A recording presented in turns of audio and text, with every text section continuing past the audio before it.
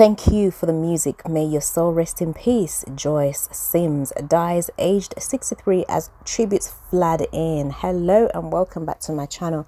R&B singer Joyce Sims has died at the age of 63. Her death was announced in a social media post by events organizer CJ Carlos, who also worked at Chelsea Football Club.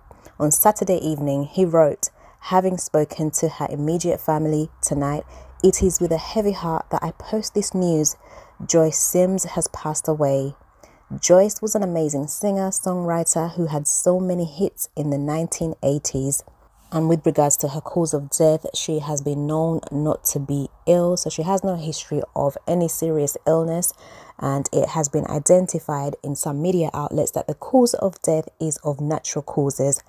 Joyce is best known for her single Come Into My Life, which reached the top 10 in the US Billboard R&B chart and the UK singles chart in 1987.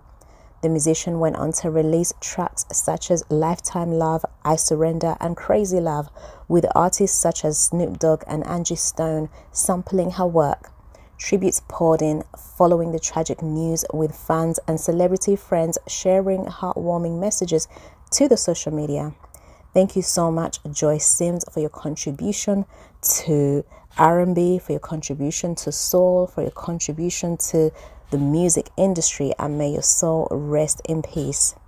I am ready to go home and get in my bed, but I just want to say, please look out on my social media sites and Facebook, Instagram, JoyceSimsOnline.com is my official site and for the latest information on the new music I have coming out and my tour dates. I will be on tour this year and I'm so excited about everything that's happening and I want you guys to know I love you and I really appreciate you so much for your love and support throughout the years.